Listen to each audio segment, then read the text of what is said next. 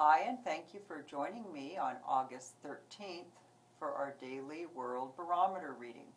I'm Margaret VanLaanMartin, the owner of Age of Aquarius in Chico, California. I look at world energy on a daily basis through the use of a tarot card. Today's tarot reading is Today we are looking at the One of Batons, and this is going to be interesting because this is a day about receiving communication. So just notice the different ways that you receive communication today because all of them are out trying to help you with what you are doing currently in your life.